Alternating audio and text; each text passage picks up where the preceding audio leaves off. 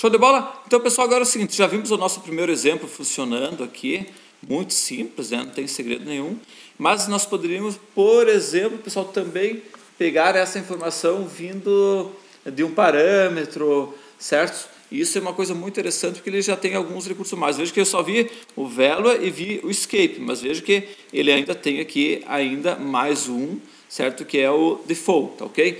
Por exemplo, eu quero pegar isso aqui é, vindo de um parâmetro, tá certo? Então, por exemplo, vou botar aqui, ó, nome informado no parâmetro, certo? No parâmetro. Então, aí eu posso, o que, que eu faço?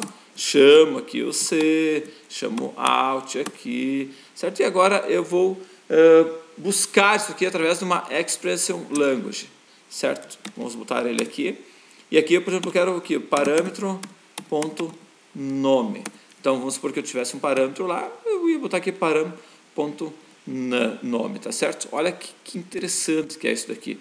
Aí eu vindo aqui, pessoal, eu posso aqui, ó, nome informado, vejo que ele não dá erro nenhum aqui, porque se eu não informei nada, ele bota um, um, um null e pronto, não vai dar erro absolutamente nada. Então, vamos chamar o nosso... Uh, uh, Para mim passar o parâmetro, obviamente eu tenho que chamar aqui o meu arquivo JCP, certo? E passar aqui o parâmetro que eu quero, nome igual a nerizote. Opa, olha o que, que deu aqui.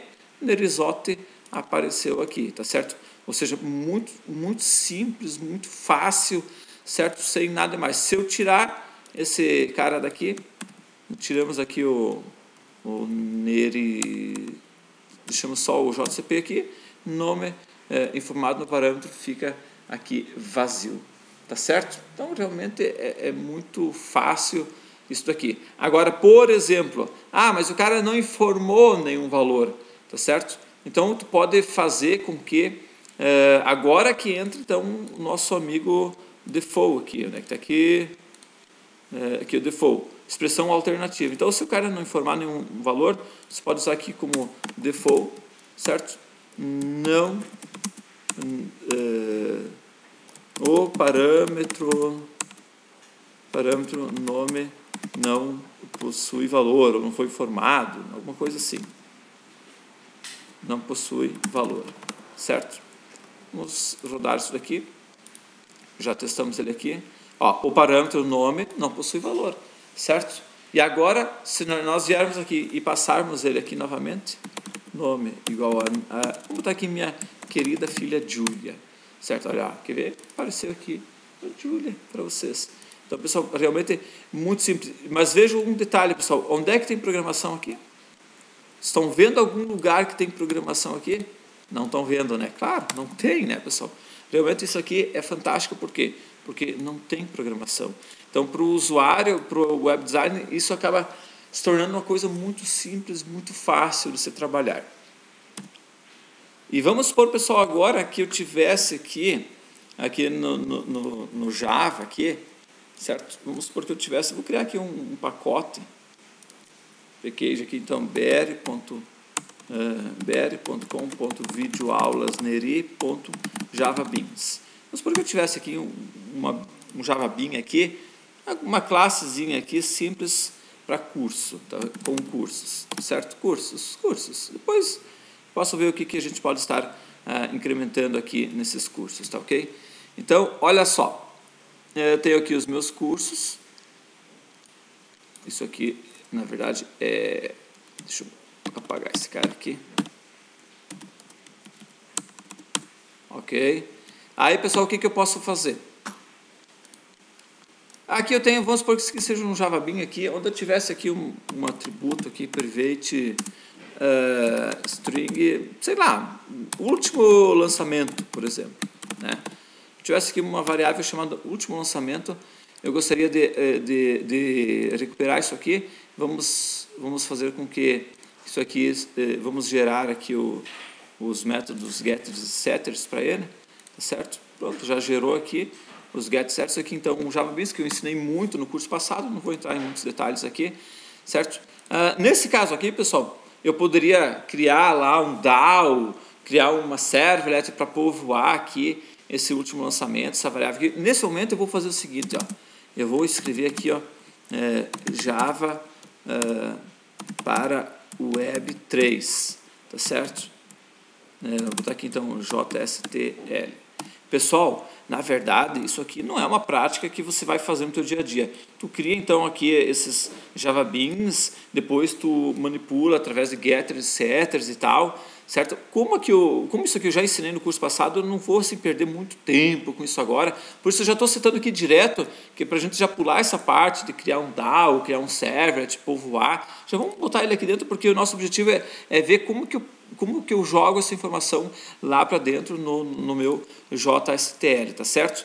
Então a primeira coisa que a gente vai fazer, coisa que a gente fez muito no curso passado, nós vamos estar então inserindo esse nosso Java Beans, tá certo, dentro da nossa aplicação.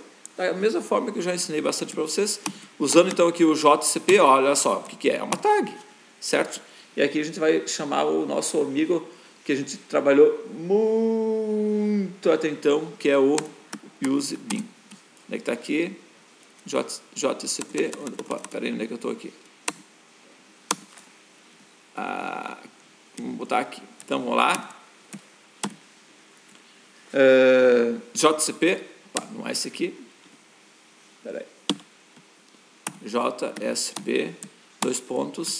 E aqui nós vamos ter aqui o, o nosso amigo use bin. Certo?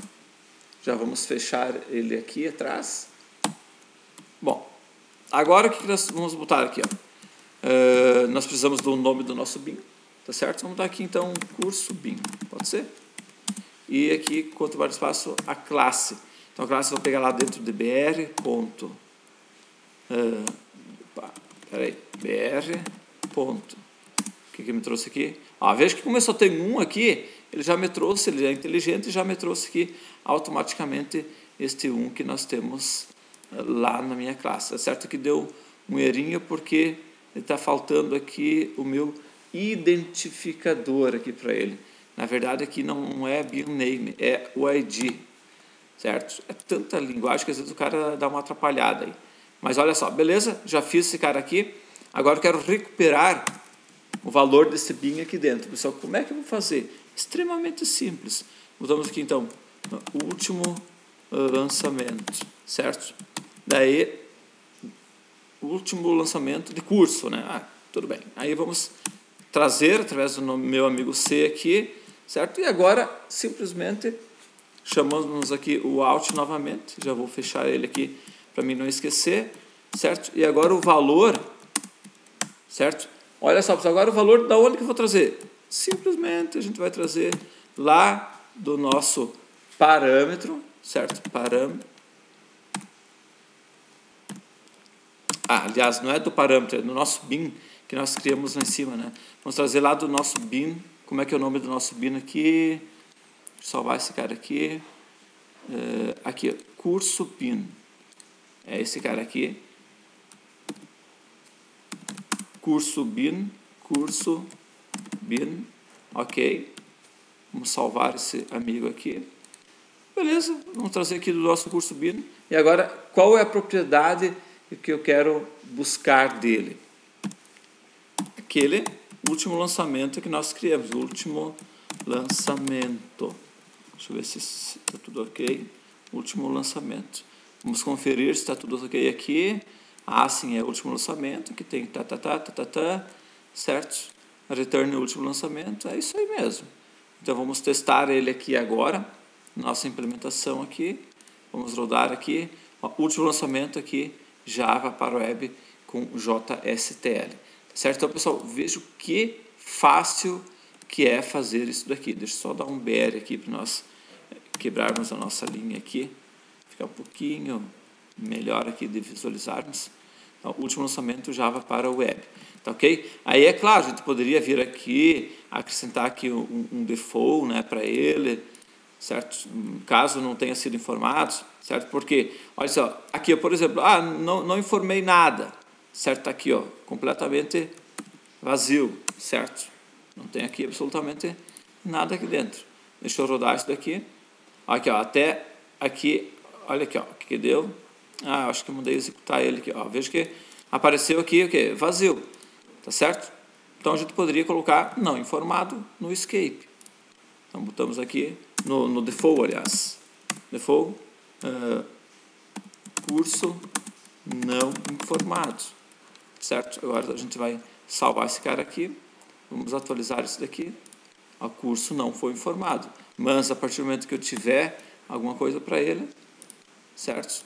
Aí eu posso estar atualizando aqui, uh, deixa eu rodar isso aqui no, novamente, né, para ele atualizar. Ah, tá rodando ainda. Ó, apareceu aqui é, para web. Java para web. O que, que foi que eu escrevi aqui? é Java para web, né? Tá certo. Certíssimo. E aí ele vai estar atualizando aqui para nós, Java para web, tá certo? Então com isso, vocês aprenderam a, a criar um BIM, certo? Pegar essa informação, pegar informação de parâmetro, pegar informação de BIM, extremamente simples aqui usando o Alt, tá ok? Um abraço, até mais e tchau.